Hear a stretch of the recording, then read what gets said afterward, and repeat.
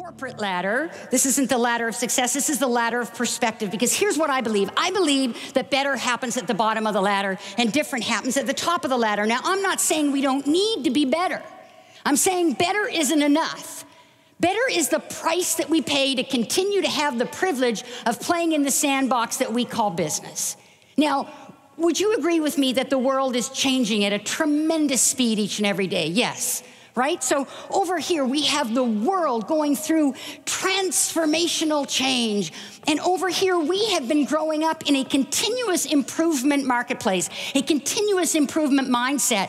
Where we have been made to believe that if we just get a little better at doing what we've been doing for the last five or 10 years, we're gonna remain market leaders. So over here, the world is innovating around us and is not even asking our permission. And over here, we're tweaking.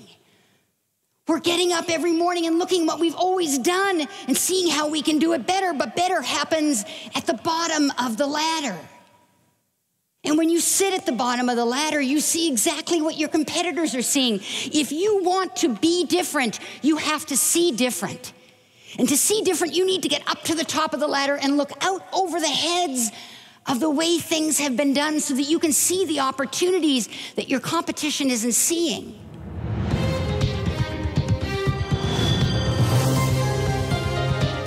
Interrupt this predictable demo video to bring you a TNN breaking news story. Welcome, my name is Denver Paris. There is no doubt that in today's highly competitive and increasingly commoditized global marketplace, businesses of all sizes and in all sectors are feeling the pinch. In the face of this growing crisis, many businesses believe that getting better will provide them with the edge they need to stand out in today's crowded marketplace. However, TNN has learned that in a world where getting better has become the big idea, one woman is waging a campaign to convince businesses that getting better isn't good enough anymore. Better is what our customers expect from us. They expect us to be getting better each and every day. So when the best are competing with the best, how do you differentiate yourself in the marketplace? You don't do it just by being better, you do it by being different. Now, at this point, we don't know much about the woman, but TNN has discovered that she and her ladder travel the world working with leaders who want to, quote, turn inspiration into innovation and ideas into results. There are all kinds of business models in this room, but the bottom line is you all have competition. And the question is if I were to come back to this room five years from now, how many of you would still be in business? And how many of you would still be in the business in the way that you want to be in business because things are changing every day? As this story continues to unfold, I am joined now by our lead investigative reporter, Monica Kay, coming to us from Montreal, Canada. Monica, have you been able to discover anything more about the lady and her ladder? Denver, here's what we know so far. The woman in question is Toni Newman. She's a five time award winning business owner, a member of the Speaking Hall of Fame, and the founder of the Innovation Advantage. Her company helps organizations around the world to gain and sustain competitive advantage in today's crowded marketplace. Do we know any more about how exactly Ms. Newman accomplishes that objective? Denver, it appears that Ms. Newman teaches organizations how to design innovative customer experiences, what she calls unexpected encounters.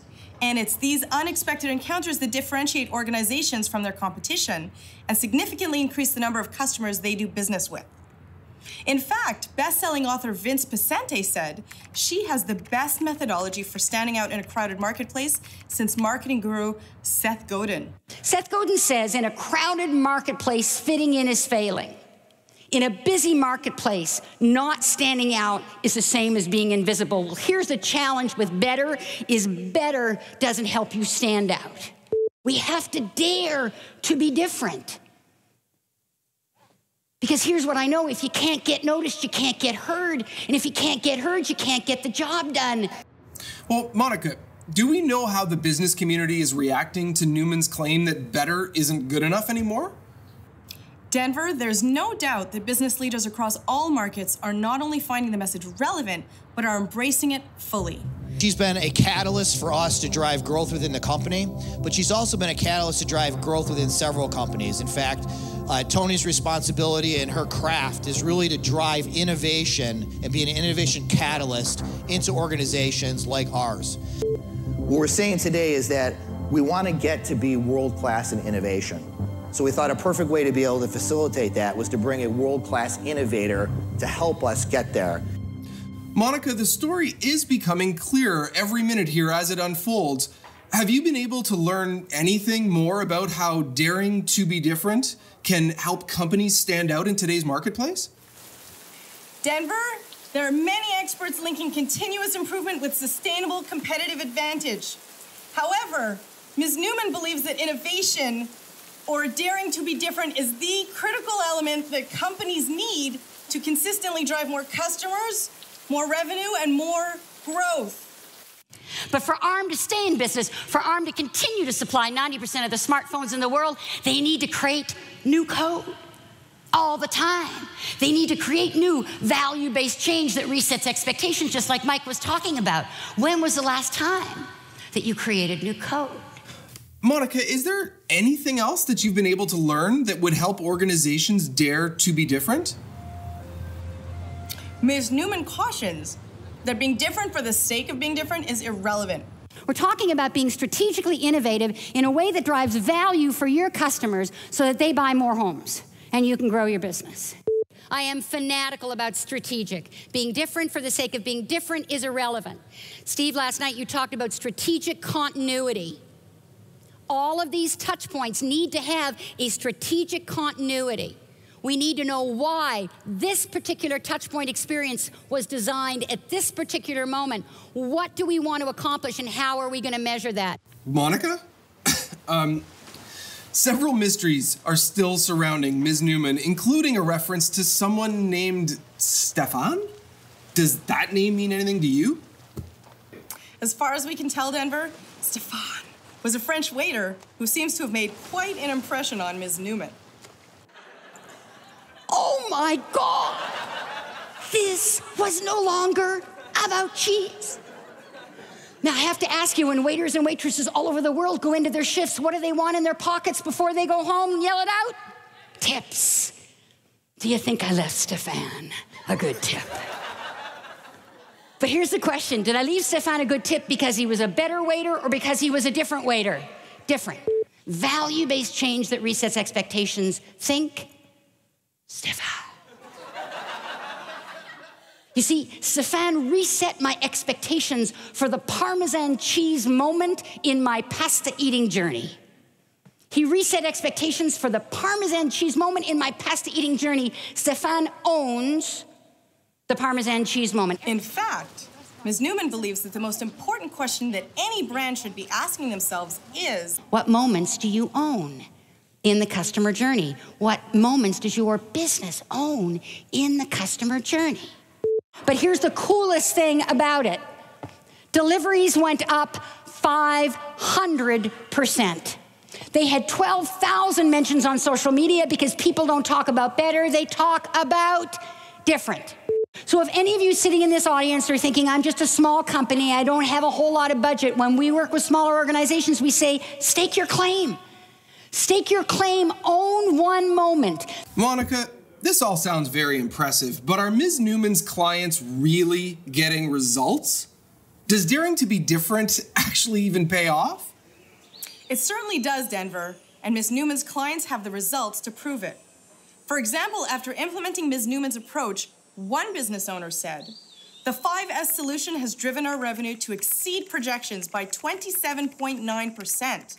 Our pipeline has 39% more money in it, and the projects in the pipeline are closing at a higher rate. She went on to say, You would be crazy not to spend some time with Toni. It paid for itself in the first week. In another instance, a lead business advisor for a regional economic development council proclaimed, we have had sessions with the Disney Institute and Fish in the past.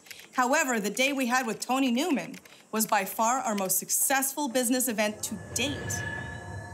Monica, do you have any other insights into how Ms. Newman is able to accomplish such incredible results? I've been able to determine that Ms. Newman spends a great deal of time learning about her clients' industries prior to working with them. That way, she can tailor her process to her clients' actual business objectives. Monica, I have just been advised that TNN has discovered some exclusive footage that demonstrates Ms. Newman's dedication to preparation.